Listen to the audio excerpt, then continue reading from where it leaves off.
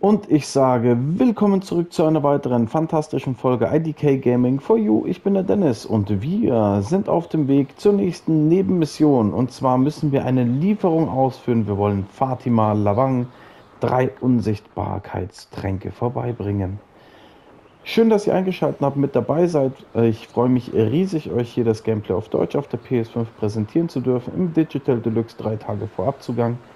Lasst mir also gerne Like, Kommentar, kostenloses Abo da und schreibt mir gerne mal eine Bewertung in die Kommentare, wie ihr das Game bisher so findet.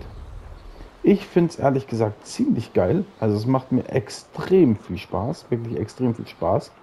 Und es sieht fantastisch aus. Ich meine, hey, guckt euch das an, wie wir hier lang fliegen. Die ganzen Wälder, die Flüsse, die Bäume, all das ist einfach unglaublich schön gemacht. Das Kampfsystem macht extrem viel Spaß. Und das werde ich euch jetzt auch einfach mal zeigen, wie das so funktioniert und was man da so alles machen kann. Wie es mir in so einem kleinen Dorf... Zack. So, da sind wir schon, Fatima.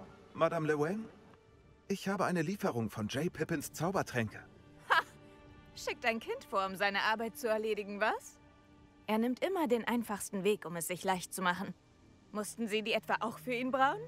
Spielt keine Rolle. Sie können das vermutlich ohnehin besser als er. Warum bestellen Sie bei ihm, wenn Sie mit der Qualität nicht zufrieden sind? Anscheinend versuchen immer mehr meiner Kunden, sich vor mir zu verstecken. Ich verurteile das nicht. Sie wissen ja nicht, welchem Druck ich ausgesetzt bin, hochwertige Produkte zu liefern. Im Gegensatz zu anderen Verkäufern bemühe ich mich um zufriedene Kunden. Hier sind die angeforderten Zaubertränke. Glauben Sie, dass das so einfach ist? Ich weiß, dass Pippin seine Kunden ständig hinters Licht führen will. Er tut alles, um auf Kosten der Qualität einige Gallionen für sich zu sparen. Sie sehen keinen einzigen Knut, bis ich weiß, dass die Zaubertränke funktionieren. Trinken Sie. Klingt einfach. Das mache ich. Das hoffe ich doch. ja, haust dir einfach rein. Dann trinken wir mal so einen äh, Trank. Ähm, was haben wir denn hier? Unsichtbarkeitstrank. Und let's go. Sie scheint zu wirken. Hm, nun, ich vermute, das genügt. Wenn die Nachfrage nach Tränken so groß ist, wäre es da nicht einfacher, mit anderen zusammenzuarbeiten? Sie könnten ihre Rezepte und Fähigkeiten kombinieren. Ha! Keine Chance. Dieser Nichtsnutz hat seinen Laden geerbt. Wir anderen mussten unseren eigenen Weg gehen. Er soll nicht von meiner harten Arbeit und meinem Verstand profitieren. Wenn er scheitert, dann soll er nur. Sie erwähnten, dass immer mehr Kunden versuchen, sich zu verstecken. Warum eigentlich? Nun, ich kann nicht für alle sprechen, aber meine Erschwinderinnenkundschaft hat sicher ihre Gründe. Aber das würde ich an ihrer Stelle ganz schnell wieder vergessen. Ich lasse Mr. Pippin wissen, dass ich die Tränke wie gewünscht geliefert habe. Tun Sie das. Was verkaufen Sie hier? Geil. Gucken wir, wir gleich mal. Können wir irgendwas verkaufen? Nein. Was haben wir denn hier? Blutegelsaft, Pilze, Florfliegen, Eier einer Arschwinderin, Mondstein und ein Heiltrank. Ich denke, ich ziehe mir zwei so Heiltränke rein. Wahl. Genau das hätte ich auch ausgesucht. Okay, top. Danke für den Besuch. Ich weiß, dass Gerne. Dann müssen wir zu Pippin auf jeden Fall zurückkehren. Ich will nur hier noch einmal ganz kurz gucken, wenn wir schon extra so weit weg von allem sind. Ähm, erstmal ein schönes Butterbier reinziehen. Was es hier noch so gibt. Noch so zu holen gibt. Da ist zum Beispiel eine Tasche, neues Outfit. Okay. Hier haben wir Schnellreisen. Hier haben wir Merlin als Nebenmission.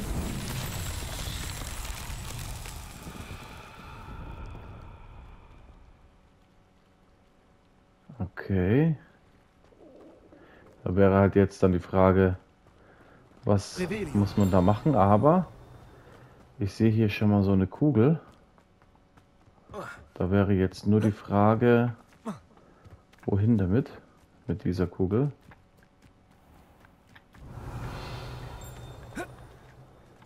Okay, der Loot ist im Haus. Da ist zu. Verdammte Axt.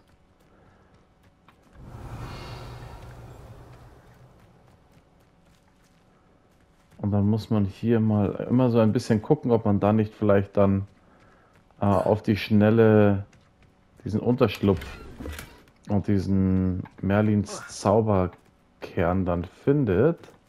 Revelio. Aber auf jeden Fall nicht auf die Schnelle. Ist gut versteckt diesmal. Hier nehmen wir den ganzen Loot noch mit natürlich.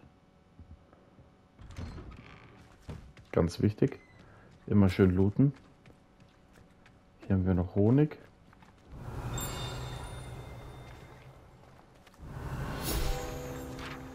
Okay.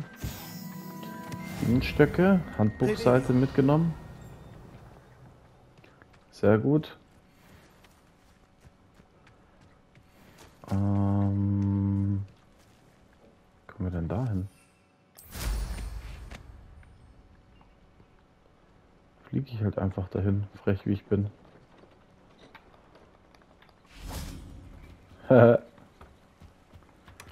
so macht man das nämlich bei Slytherin. das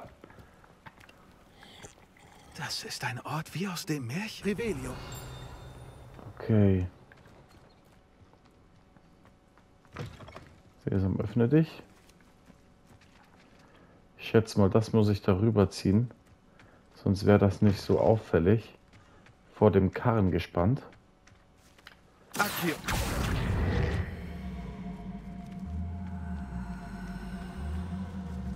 Na komm. Oder muss man das mit Schwung hier runterrollen lassen?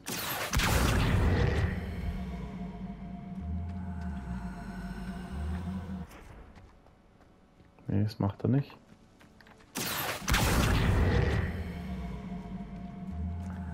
So rollte auch nicht. Hier rüber rollte auch nicht. Hm, er rollt fast gar nicht allgemein. Ich kann da auch nicht anschieben. Hier war noch eine Kiste. Hm. Spannende Sache. Also diese Merlins-Rätsel, die haben es echt ganz schön in sich.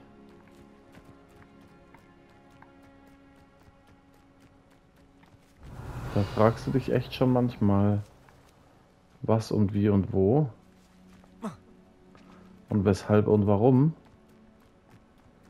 Ich habe das bis jetzt immer noch nicht gefunden, wo diese Kugel rein muss, gell?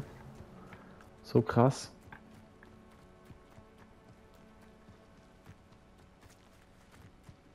Okay.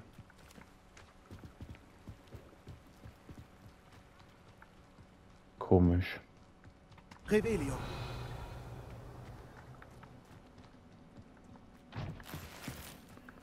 Hauptsache erstmal alles looten hier. Okay. Und dann würde ich sagen, ähm, erstmal Schnellreise zurück. So, Karte. Wir müssen nach Hogsmeade. Schnellreise. Und dann zu dem Tränkeladen. Gibt es einen gemütlicheren Ort als Hogsmeade? Zack. Und reden wir mal mit Pippin. Lassen Sie mich einfach wissen, wenn ich helfen kann. Ich habe die Tränke Fatima Lawong gebracht. Sehr gut. Und äh, hat sie Ihnen Ärger bereitet?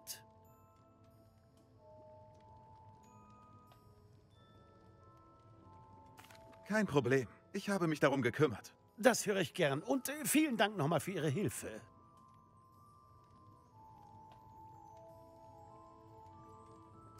Es war schön, mit Ihnen Geschäfte zu machen, Mr. Pippin. Gleichfalls. Wenn man sich nicht selbst mit dieser Hexe herumschlagen muss, nimmt man gerne die Kosten in Kauf. Übrigens habe ich dieses Buch mit Trankrezepten in Keenbridge gefunden. Wäre das nützlich für Sie? Ist das Fatimas Rezeptbuch? Sie sollten es behalten. Fatima verdient es nicht. Das weiß ich zu schätzen, aber Sie müssen noch viel über den Respekt vor dem Eigentum anderer lernen.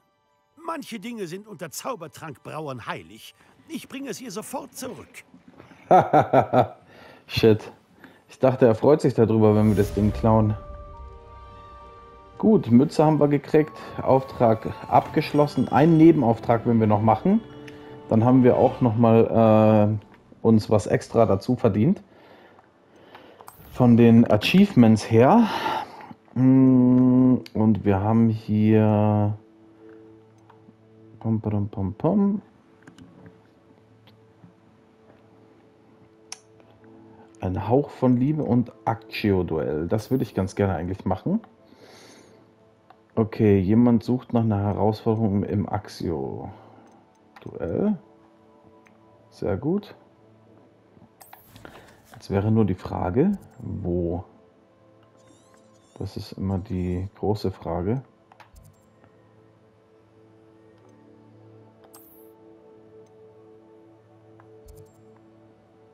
Hier. Okay, perfekt. Das machen wir. Hey, Duellieren macht nämlich einfach viel zu viel Spaß. Hey, Duellieren macht so viel Spaß. Das ist so geil in dem Spiel gemacht. Let's go.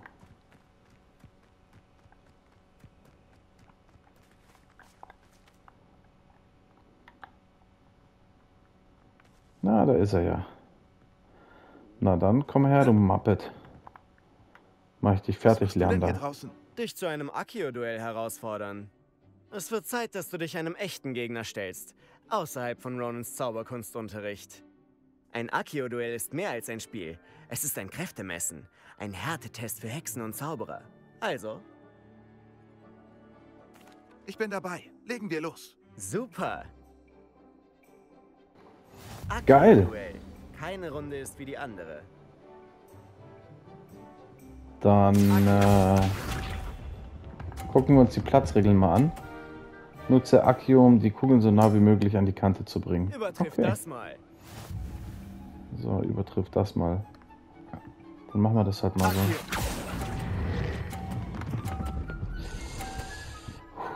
Knappes Ding. Okay. Das wäre ja unglaublich. Akio. Ja, es ist nur eine Frage des Winkels, ne, Freunde? Ein Kinderspiel. 30 Punkte. Ja, dein Dickschädel ist jetzt im Weg hier.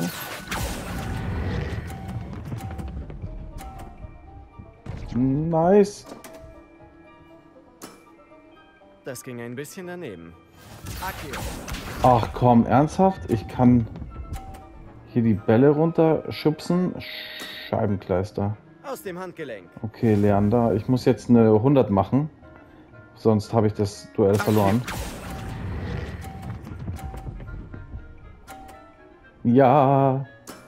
Puh, Nicht das war eine knappe Nummer. Nicht schlecht. Gut, du hast mich besiegt. Jawollo. Sieger IDK.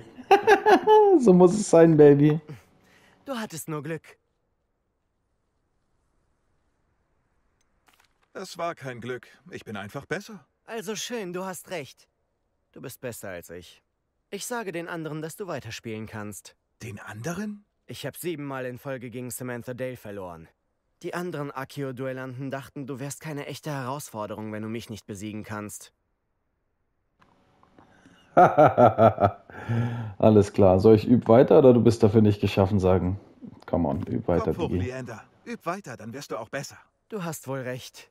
Ich werde den anderen sagen, dass du die Probe bestanden hast.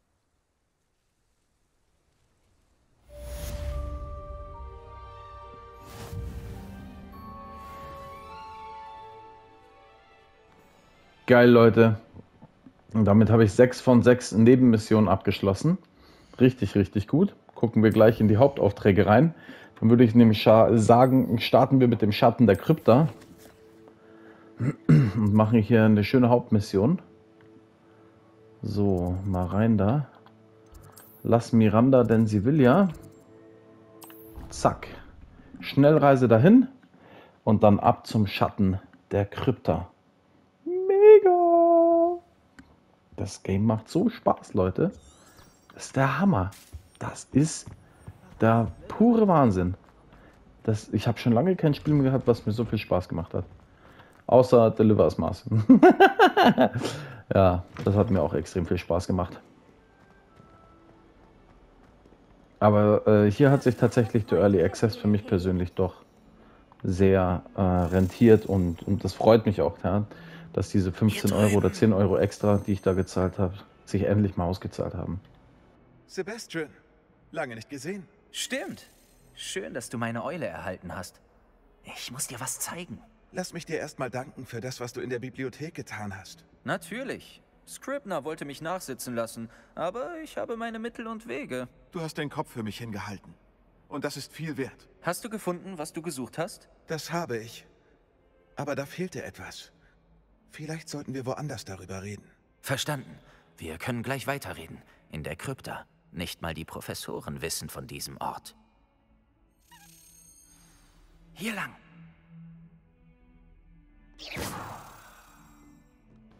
Genau hier gibt es einen Geheimgang. Sehr gut verborgen. Cool. Okay, wo? Revelio. Ah, hier also. Dann ab in die Krypta.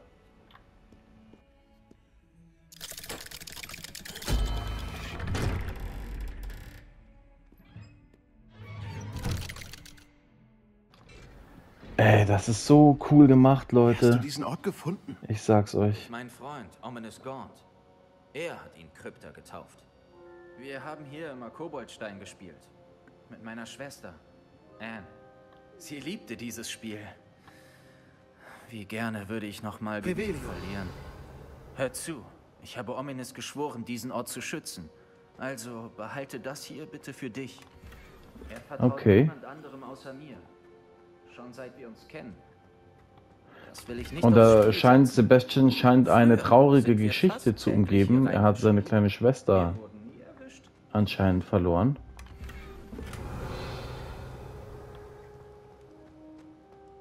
Okay, gut. Erzähl uns mehr, mein Lieber. Erzähl uns mehr. Ich kenne Ominous aus dem Gemeinschaftsraum.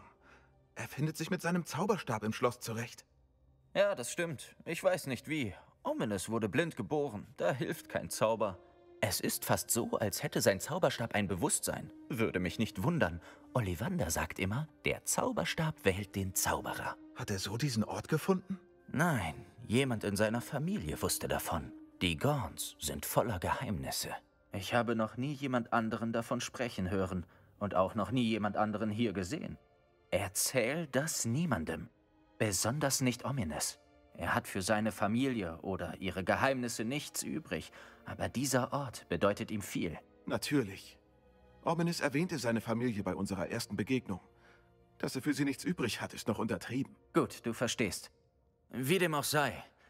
Die Krypta war der perfekte Ort, um sich vor neugierigen Blicken zu verstecken und sogar verbotene Zaubersprüche zu üben. Ach ja? Zum Beispiel? Den Explosionszauber. Die Professoren sagen, der Zauber sei nicht geeignet für Schüler. Klingt nach einem gefährlichen Zauber. Du klingst wie Ominous. Er missbilligt die Verwendung verbotener Zaubersprüche, obwohl er diesen gerne gelernt hat. Ein Zauber wie Confringo ist nur in ungeübten Händen wirklich gefährlich. Solche Zauber sollten lieber richtig gelehrt werden. Ehrlich gesagt interessiere ich mich eher für feurige Formen der Magie. Aber du solltest ihn lernen. Ich kann ihn dir hier gefahrenlos beibringen. Geil. Ja, bitte. Unbedingt. Auf jeden es kann Fall. dauern, bis man ein Gefühl dafür bekommt. Bewege den Zauberstab wie ich. Die Beschwörung lautet Confringo. Also gut. Confringo. Okay. 3, 2, Risiko.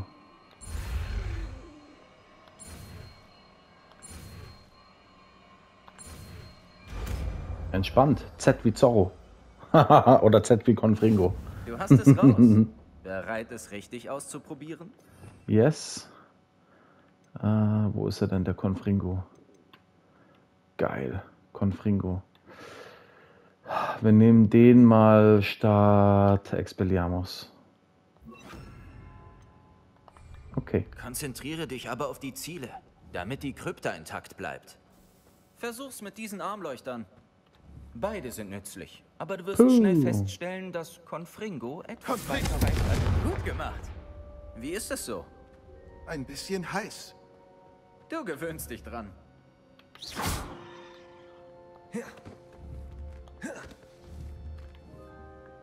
Confringo! Nice.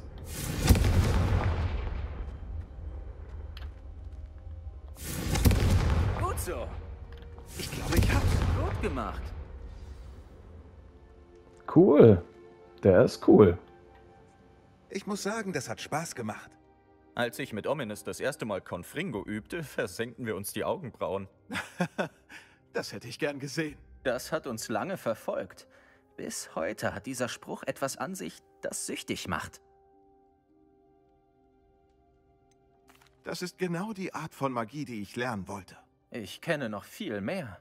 Ich übe hier schon seit Ewigkeiten ähnliche Zaubersprüche. Allerdings habe ich Anne und Ominous nicht von jedem erzählt.